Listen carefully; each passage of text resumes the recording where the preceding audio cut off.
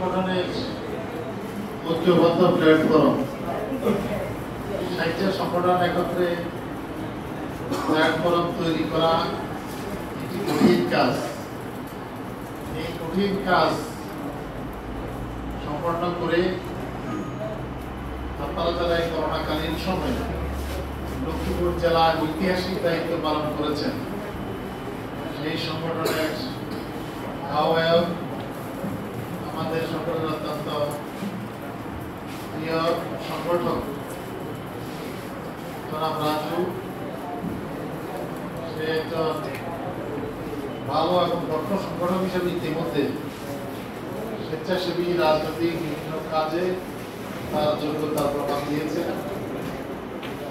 এখানে বিশেষ অতিথি হিসেবে উপস্থিত আছেন আমাদের মুজাফর হায়দার ভুইয়া মাসুম। জেলা কৃষক লীগের সংগ্রামী সাধারণ সম্পাদক এবং কুমিল্লা প্রস্তাবিত বিভাগীয় কৃষক লীগের সমন্বয়কারী সামনে গেছেন হিজবুল বাহার রানা চন্দ্রগঞ্জ থানা আওয়ামী লীগের অন্যতম সদস্য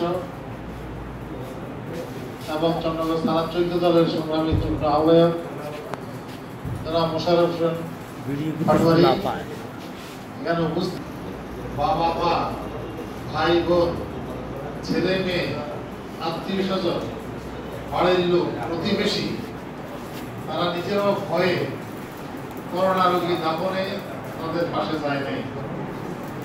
আপনারা সে বাবা মায়ের দায়িত্ব পালন করা একজন উপদেষ্টা হিসেবে আপনাদের কাজের জন্য আমরা গর্ববোধ করি এবং আপনাদের এই ত্যাগ, আপনাদের শ্রম, আপনাদের এই আন্তরিকতা আমাদের জেলার আমরা জেলা আওয়ামী সভাপতি, সেক্রেটারি এবং আমাদের এমপি, আমরা সকলে মিলে আমাদের দলীয় নেতা কর্মীদেরকে নিয়ে আমরা ত্রাণ বিতরণের চেষ্টা করেছি।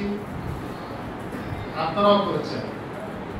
এবং এই মার্চ, এপ্রিল, মে, জুনের বাইশ তারিখ পর্যন্ত, প্রায় সাড়ে তিন মাস টানা প্রতিদিনই নিজের ত্রাণ বিতরণ, সরকারি ত্রাণ বিতরণ অথবা আমার দলীয় অন্যান্য ব্যক্তিবর্গের ত্রাণ বিতরণে আমাকে আমন্ত্রণ জানানোর প্রেক্ষিতে আমার উপস্থিত থাকা অথবা আমাদের কোন স্বেচ্ছাসেবী সংগঠনের ত্রাণ বিতরণ এমনি ধরনের কর্মশালাই অথবা দ্বিতীয় টেস্টে আবার করোনা নেগেটিভ হই বারোই জুন টেস্টে আবার করোনা নেগেটিভ হওয়ার পরে বাসায় যাই এবং পরবর্তীতে চব্বিশে জুলাই আবার লক্ষ্মীপুর আসি সেই থেকে গত